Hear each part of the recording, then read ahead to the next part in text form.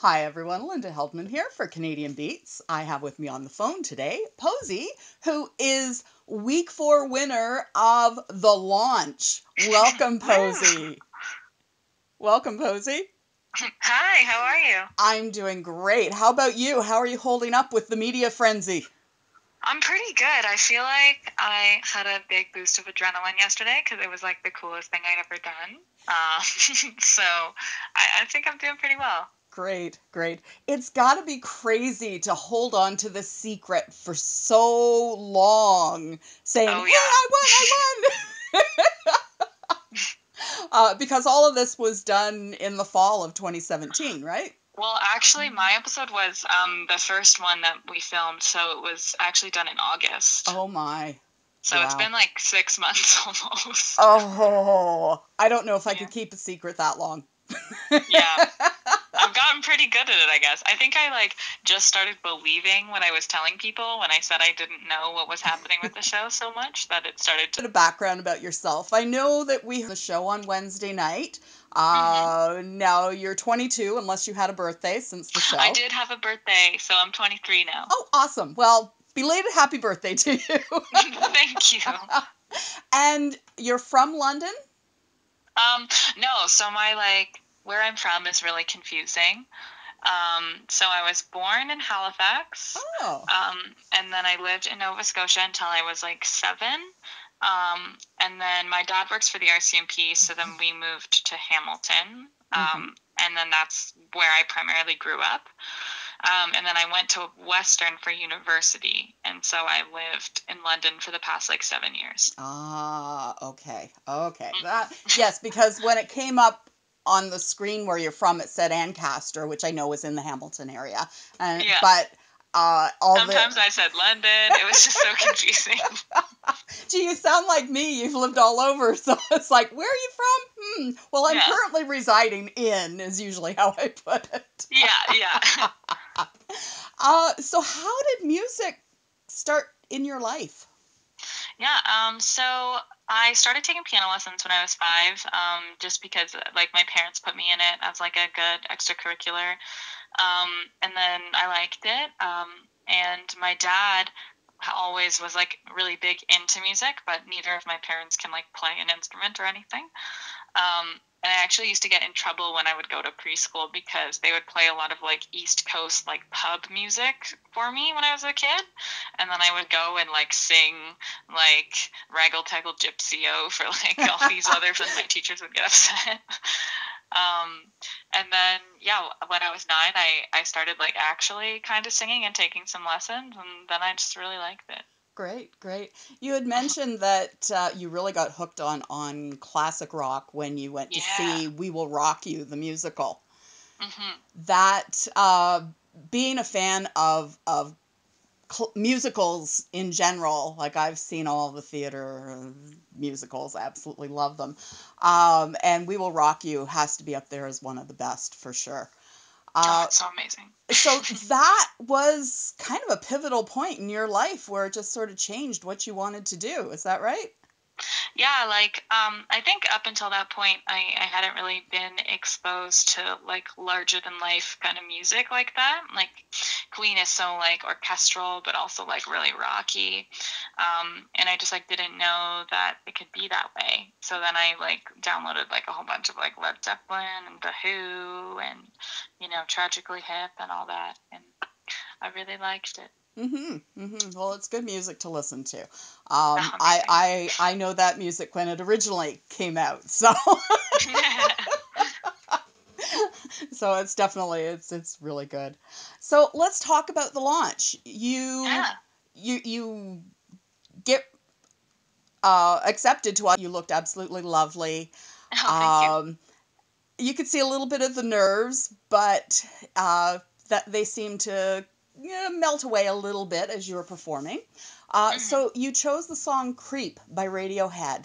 You gave a Mhm. little bit of a, uh explanation as to why you picked that. Um, can you just recap on some of that and, and add to it if you like?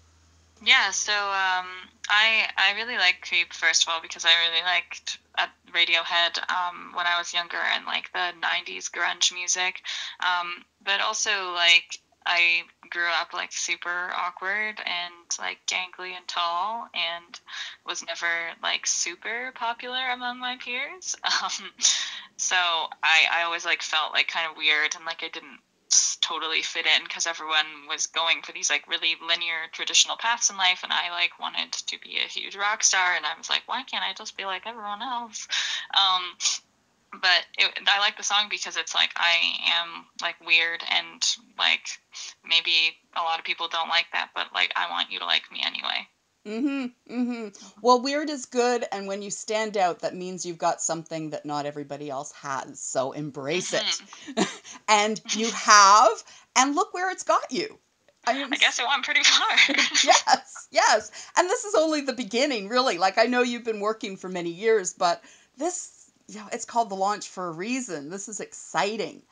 Mm-hmm. Um, now, I, I with your audition, I, I loved some of the uh, comments that were made. Fergie said she was tearing and had chills all over her body, and Stephan, who I absolutely adore, uh, said Mhm, you, you yes said you are haunting and beautiful, which totally describes your whole performance right there. Oh, Um, thank you.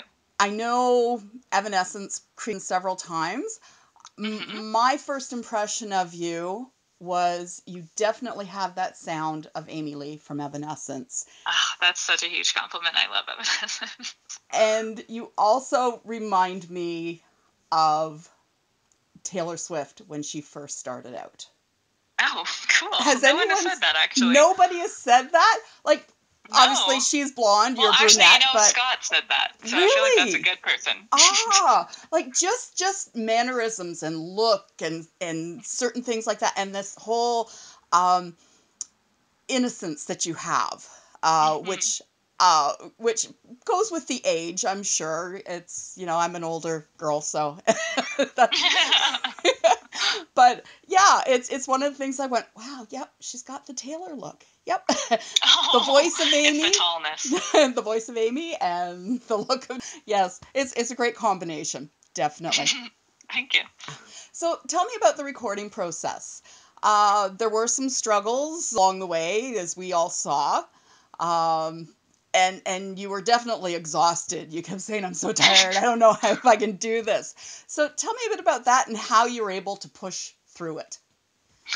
Yeah, um, I think it was like one of those moments where like being like a human caught up with me a little bit just because like all those scenes in the studio like took place like very very late at night just Mhm. because of like the time constraints of the show um and so i had a couple moments where i was like i just want to like sit down for a second and like they're asking you to repeat this phrase over and over and over again um but then you like remember oh my god i'm in the studio it's so amazing and like this is my one shot and i just have to be like so grateful to be here right now and i just kept like trying to like ground myself and come back and i drank a lot of tea mm-hmm. Mm-hmm. Tea tea is a godsend, I swear.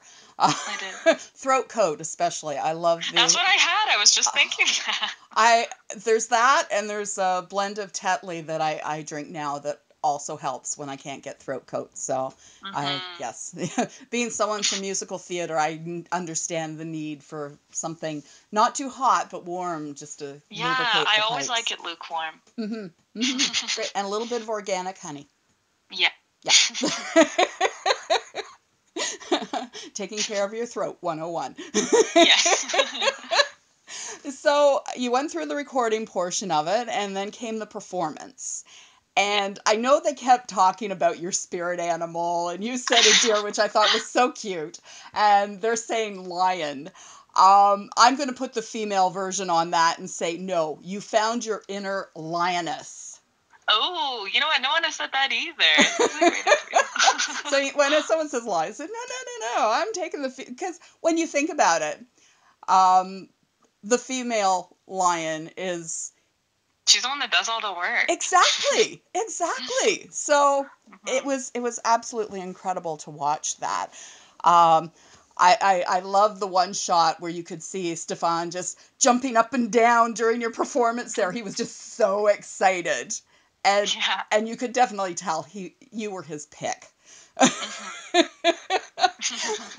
so when they announced that you were going to be the artist to be launched for this week, um, is is it still a blur, or did did seeing it take you back to uh, to the feelings that you felt? You you were kind of numb at the time by the looks yeah, of it. I know. I remember just like everything like stopped working in my brain, and I was like, I think this is a really big deal, but I think it's too big for me to even like fully understand right now. Um, and then I cried, and then like I don't, it was just like so weird because like I think like if you dream about something for a really really long time, and then you actually like get a little piece of it, it's just like what? Like it it actually if you believe it works like what? And yeah it's so weird It's it's got to be incredible to, as say, have that that dream, and then all of a sudden it's like it happens, and you're going, hmm "Is this real? Am I really? Am I dreaming this? Don't wake me up if I am." yeah I'll just stay here uh, so I know the days following, uh, you have a lot of media, and it's just it's crazy. So, hmm what is in store for you after the media blitz? Yeah, for sure. Um, well, I really want everything to keep going. Like, I by no means want this to be the coolest thing that ever happened to me. I wanted to just, you know, keep getting more and more fun. Um, and, uh, you know, I've been writing a lot recently, so um, I'm hoping to go back into the studio and make some more music, get more songs out. Um, and I know that we're working on a tour right now. Um, so there's some big things coming up. That's exciting. That's Yeah. exciting. I yes. Ah, wonderful. I went to a city near you. well, I hope so. Like I travel all over um, Ontario, and Mhm. so definitely if if they do something where you're all out performing, I will definitely come out and see it. Hope and get to meet so you nice. all. Get to meet you all because I'm I'm seriously falling in love with all of you each week. It's just incredible. I absolutely love it. And and I Oh, have to and I have to mention there was one tweet that Logan Staats uh, posted while you were performing that was just so Mm-hmm. moving. Like he, even he is uh, is a huge huge fan of yours.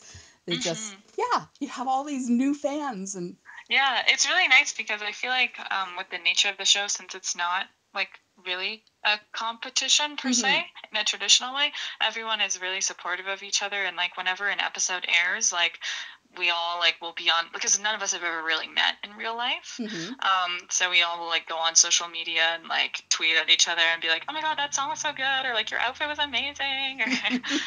so it's it's really nice. It's a good community. Yes, it is. It is. Well, I wish you all the best and congratulations again on having number one song on iTunes, all genres. That's impressive. And even everybody else, they're still in in the top 100, which is just incredible to Mhm. see. It's amazing. Yes, yes. God knows what he's doing. Yes, he does. Yes, he does. Enjoy the journey, my dear. Thank Have you so much. have a wonderful day and I do hope to see you soon. yes, okay. Enjoy your weekend. Thank you. Thank you. Bye. We've been speaking with POESY from The Launch, and I am Linda Heldman for Canadian Beats.